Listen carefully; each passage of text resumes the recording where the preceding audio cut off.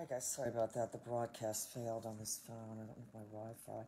You said it's bad weather out there because of these storms. I haven't even looked to see what's going on with these storms. You, should definitely never do these drills. If you said people doing these drills are suffering from a failure to see the big picture, man, they're idiots. They don't have any idea what they're doing. Stopping a dog from doing something in the moment and training a dog not to do something, you have to tell people certain things are unrealistic. If your main focus of life is the fact that this dog is afraid of your vacuum and barks at it, and you can't manage that, if your life is so consumed with vacuuming that it's crucial that during this all consuming vacuuming that you're doing, that this dog stay on this cot. Nobody, you can't vacuum and force a dog to stay on a cot at the same time.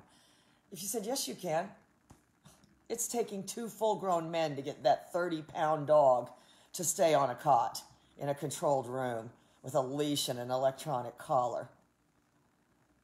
So if you said somebody at home alone, if you said, I already think of vacuuming as tedious, the last thing I want to think is, uh, okay, get the dog, get the cot, get the 30 foot line and grab the vacuum and let's roll. Come on. It's ridiculous. Look at this idiot. Oh my God, it's, it's embarrassing. And if you say, what do they put? Vacuum attacker to holding place. If you said, so the dog now, the, the problem is solved. It's no longer afraid of the vacuum. And so this guy's thousands of dollars has gone to good use. Look at this idiot. Off Leash Canine has videos of this all the time. And the fact that Taylor, I mean, he is a jerk. He is used to pushing people around, literally and figuratively. If he said word is, that girl Jenny said he got kicked off the police force for using excessive force on people. I want you to watch what he does to this guy. It took me a minute to see what it was. If you said he's now talking a bunch of bullshit. So now you've got two full grown men leaning over a dog on a cot that doesn't want to be there.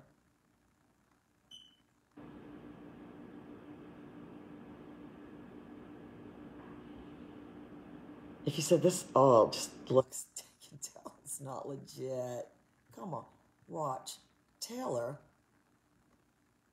is going to push the guy with the vacuum. If you see the bottom of a filthy vacuum, mm-hmm.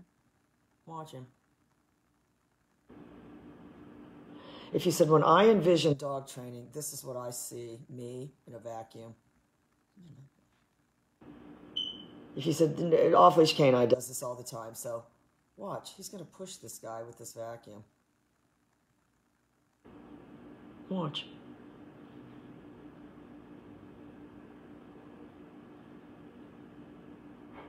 Watch, look, look, look.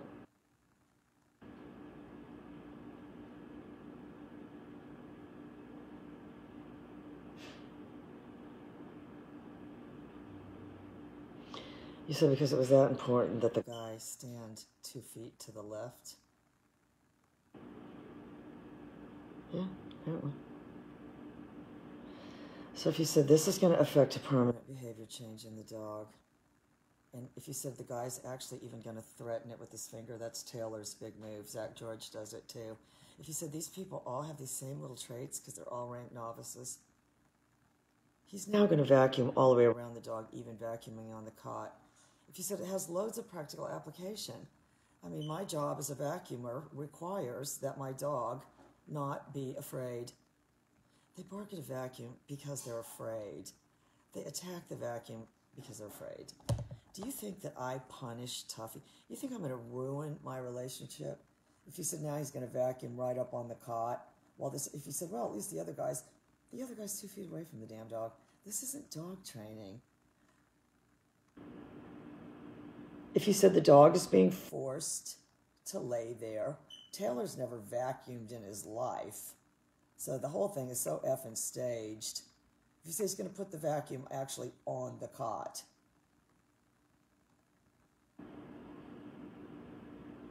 This isn't dog training, I promise you. Forcing a dog, they literally don't know how to do anything else. She said the guy's going to stand back and threaten it with his finger right there. If you said that could possibly affect your recall, could possibly affect your recall, you ain't never gonna get this thing to come to you. Look at this. If you said that's not gonna, that's not going to destroy the relationship with the dog when day after motherfucking day after motherfucking day. You get this cot and this vacuum out and let's roll. what?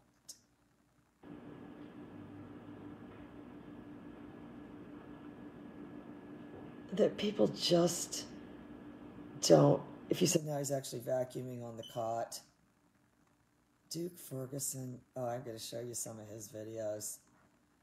His are beyond weird. If you said they're all ex cop, good old boys, and you just don't like their kind, you got me. Taylor now to me represents everything that's wrong with dog training. Personally, he doesn't even have any substance. To look at him. This is a vacuum right up on the dog. If you said the dog is going to get up, do a shake off, and think, God, that's over. Yes.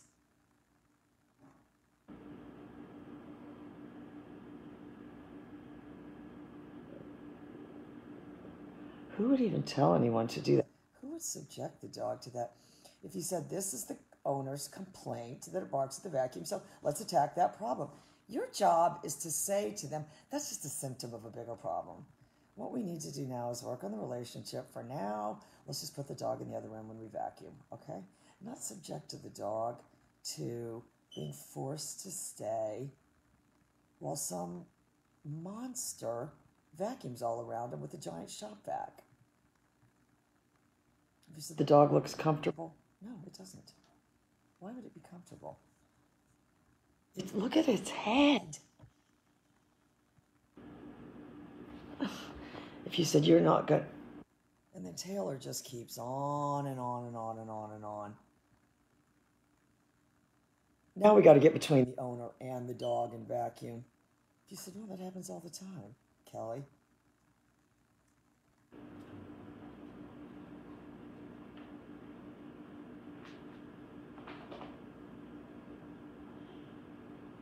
If your solution can't be,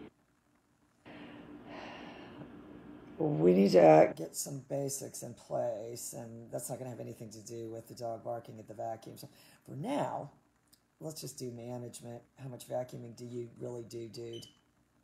Dude, Listen, tell wifey, just listen. Lock Max in the room. The trainer said just lock Max in the room for now. We're going to work on getting other stuff accomplished and then possibly address that later. Not here. Give me a couple thousand bucks. We'll force it on a cot while I vacuum around the shop vac, back while it temporarily doesn't do the behavior. If you said no, the behavior's all gone. Look at this guy. Bending over. The behavior isn't gone. Shoe bottom won't even move if you vacuum. You can vacuum right up to her. Just want to move. So what about Tuffy? Oh, he ferrets the vacuum. So that's the end. That's how the video ends. If you said, well, I don't believe you with the off-leash canine. Oh, yeah. Oh, you want to see Nick White vacuuming. The only time you're ever going to see him vacuuming is his staged distractions. Hang on holding place. There's no such. That's they try to use, you know, what sounds like. You said what's wrong here? Set this thing upside down. Oh, sorry. Um,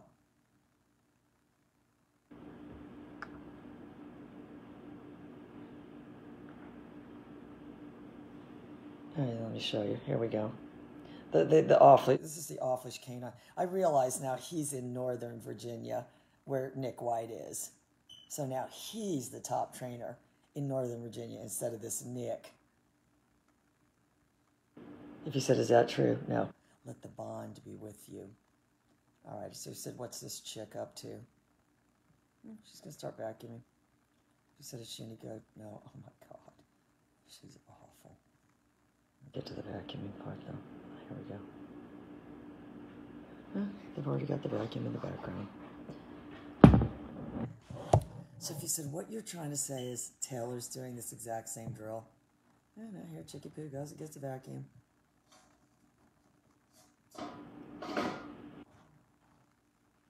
So if you said that's what you're telling owners at home to do.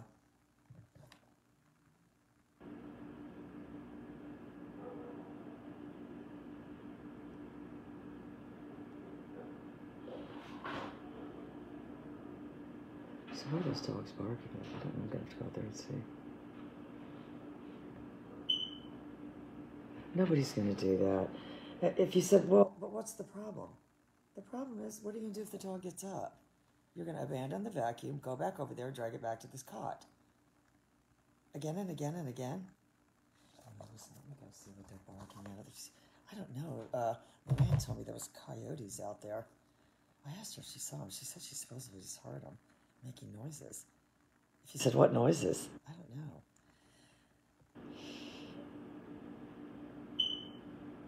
There's no training where you force a dog to stay and vacuum around it. This is just, just these people coming up with ridiculous stage distractions. If you said, I've never, I vacuum every single day.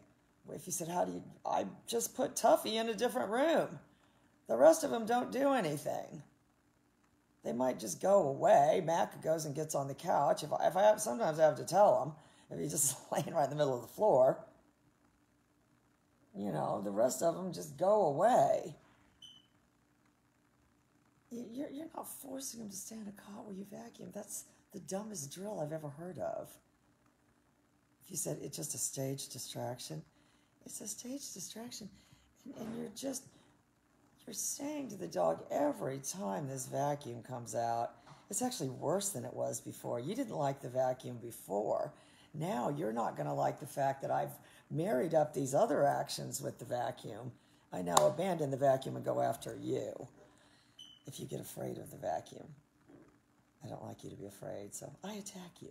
it doesn't make any sense to the dog. It doesn't make any sense. If you said Tuffy's really afraid of the vacuum, but he attacks it as as some sort of display threat sort of thing, yes. Oh, you could chase him away with it in a minute. If you said, what if it suddenly tripled in size and came at him? Oh, he'd be gone. he'd be gone. If the vacuum suddenly tripled in size and went at him, you know, if you said, what does he do now? He just like kind of bites the front of it. You know, he kind of keeps it at a.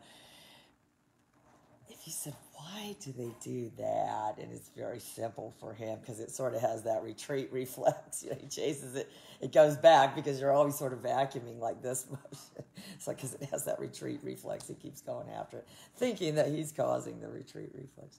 Anyway, I'll be live later. Or I don't know. I might even take the day off. If you said, "Well, I just woke up and I was like trying to think, like, do I even have